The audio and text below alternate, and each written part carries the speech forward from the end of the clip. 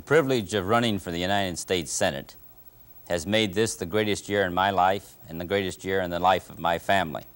We've had the opportunity to visit with many fellow Kansans. We've had the opportunity to find out how we feel and think together, how we envision our nation being and becoming, and we've had the opportunity to talk and plan how we can make America the type of nation we want and a reality for our children and our grandchildren.